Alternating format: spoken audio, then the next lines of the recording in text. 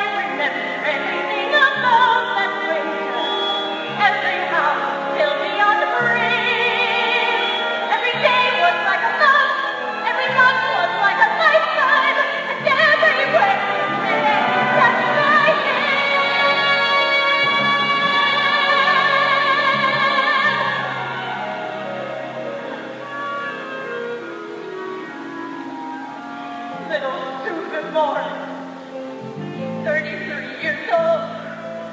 I couldn't say I.